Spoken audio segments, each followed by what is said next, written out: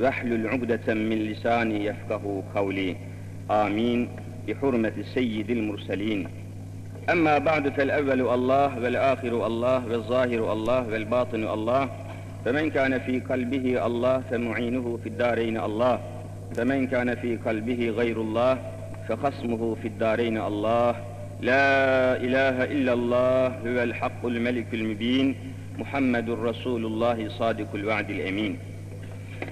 Aziz müminler, şerefli Müslümanlar, geçen dersimizde Allah'a ibadetten, Allah'a itaattan uzaklaştıkça, Allah yolunda gayretimizi kestikçe, mücadelemizi bıraktıkça, rahmet-i ilahiyeden uzak düştüğümüzü anlatmaya çalışmıştım. Bugün de Allahu Teala'nın rahmetine, merhametine, yardımına, inayetine hangi hallerde ve hangi şartlarda nail olunabileceğini ayet ve hadisi şeriflerle izaha çalışacağım. Allahu Teala'nın yardımı ne zaman tecelli ediyor? Nasıl geliyor? Hangi şartlarda geliyor? Hangi şekillerde geliyor? Bunları bilmemiz lazım ki meydana gelen hadiseler karşısında şaşırıp kalmayalım. Bu hususu ifade eden Kur'an-ı Kerim'in ayetleri vardır ve bu ayetleri de tefsir eden hadiseler, İslam tarihindeki bazı vakalar vardır. Onları arz edip içinden hissemizi almak, içinden bize düşen manaları çıkarmak durumunda olacağız. Mutlaka Kur'an-ı Mübin, geçmiş ümmetlere, geçmiş kavimlere ait bazı kıssaları, bazı hikayeleri, bazı maceraları, bazı hadiseleri anlatıyor, oradan kendimize bir pay, bir hisse almamızı istiyor. Yoksa boşuna haşa anlatmaz ve haber vermez. Bakın şimdi, İslam tarihinde bahusus Hz. Muhammed Mustafa sallallahu teala aleyhi ve sellem Efendimizin nübüvveti, peygamberliği esnasında öyle mücadeleler, öyle harpler, savaşlar ortaya konmuştur ki bunların her bir satırında Müslümanlar için dehşetli ibretler vardır. Bu hususta bakınız asr-ı saadette mühim bir yer tutmuş bulunan ve adeta kıyamete kadar gelecek olan müminlere ibret, ders, hikmet verecek olan Hendek savaşı, Hendek gazvesi, Hendek muharebesi ile alakalı küçük bir bölümü anlatıp hemen derse geçeceğim.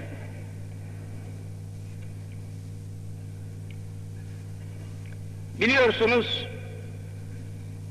Medine-i Münevvere'ye hicret ettikten sonra Allah Resulü ve Eshab-ı Kiram hicret buyurduktan sonra Mekke'deki müşrikler, puta tapanlar bütün güçleriyle Medine'de yerleşen Müslümanları ve hızla yayılmaya başlayan İslamiyeti kökünden kurutmak istediler. Ortadan kaldırmak istediler.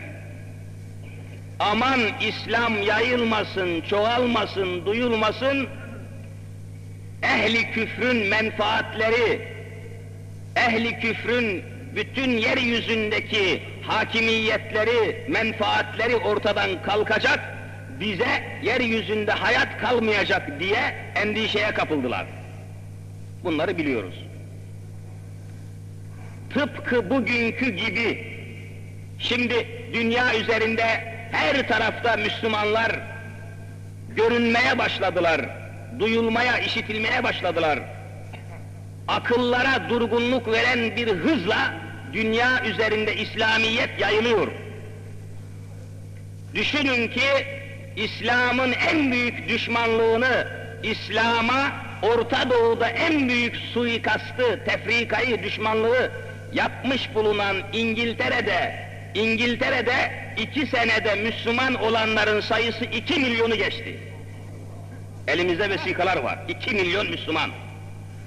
Amerika'da Müslüman olanların sayısını bir günün dakikalarına bölmüşler. Bir günün dakikalarına dakika başına bir Müslüman isabet ediyor. Hızla bir yayılma var. İslam'da büyük bir yayılma var. Japonya'da akıllara durgunluk verecek şekilde hızlı bir İslam hareketi var. Yayılıyor. Bu du- durumda en çok rahatsız olanlar Yahudilerdir. Yeryüzünün para sistemine, ekonomik sistemlerine, üretim kaynaklarına, faiz yataklarına, ticaret kervanlarına en büyük ölçüde hakimiyet sağlamış bulunan Yahudiler, bugünkü İslamiyet'in hareketlenmesinden, yayılmasından vallahi korkunç bir korkuya düşmüşlerdir. Dünyayı, bahusus İslam dünyasını kaynatıyorlar, karıştırıyorlar, boğuşturuyorlar, vuruşturuyorlar. İşte şimdi İran'la Irak'ın çarpışma noktasına gelmesi, Amerika'nın tavrı, Rusya'nın istila ve işgalleri, Doğu'da, Batı'da, Orta Doğu'da korkunç hareketlerin planlanmasının hepsinin temelinde, mayasında, esasında, diplomasisinde, kaynağında korkunç bir bu bahsettiğim korku yatıyor. Müslümanlar toplanmadan, birleşmeden, birlik olmadan, dünya İslam hareketi kurulmadan hepsinin kökünü kazıyalım diyorlar. Çabuk, ellerini çabuk tutmaya çalışıyorlar. Tıpkı Allah Resulü'nün devresinde asr-ı saadette olduğu için misali arz edeceğim göreceksiniz. Medine'deki İslam hareketini kökünden yok etmek için Mekkeli müşrikler çeşitli yollar arıyorlardı. Çeşitli ittifaklar kurdular, çalıştılar. Medine-i Münevvere'nin etrafında bulunan ne kadar Yahudi kabileleri varsa, Medine'de çok Yahudi vardı. Hayber Yahudilerin elindeydi, Gatafan kabilesi, Beni Kureyza kabilesi, Beni Nadir kabilesi, korkunç Yahudi kabileleri vardı. Oranın ticaretine, hurmalıklarına, parasına, imkanına, ticaret kafilelerine hakim Yahudiler vardı. Hepsi toplandı, birleşti, ittifak haline geldiler ve Kureyş'in ileri gelenleriyle temasa geçtiler. Biz dediler ehli kitabız ama biz Hazreti Musa'ya inanırız ama biz sizinle beraberiz. Muhammed'in getirdiği dini, imanı, inancı ve kendisini ortadan kaldırmak için sizlerle puta tapanlara beraber oluruz dediler. Bunu Kur'an-ı Kerim çok acayip haber veriyor. Birlik, ittifak sağladılar. İslam'ın bütün düşmanları birleştiler o zaman. Başta Yahudiler, putperestlerle, ehli kitap oldukları halde putlara tapan Kureyşileri, Mekke'deki putperestler hepsiyle birleştiler, sarmaş dolaş oldular. Ahit imzaladılar. Ne korkunç bir hadise. Menfaatleri ellerinden gitmesin diye.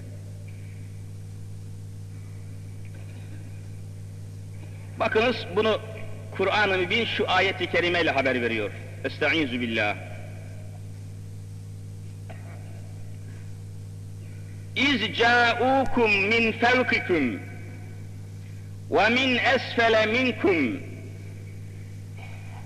Hani Habibim Muhammed Mustafa'm hatırlayın, hatırlayın, düşünün, unutmayın şeklinde ayet tecelli ediyor.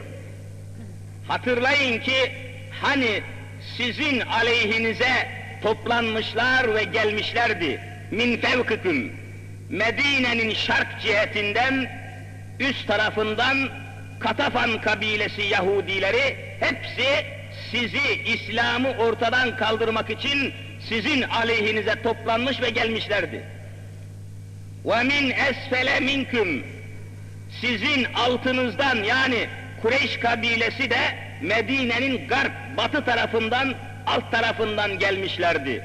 Bütün müşrikler, Yahudiler hepsi sizin aleyhinize ittifak etmişlerdi. İzcaukum bu maksatla gelmişlerdi.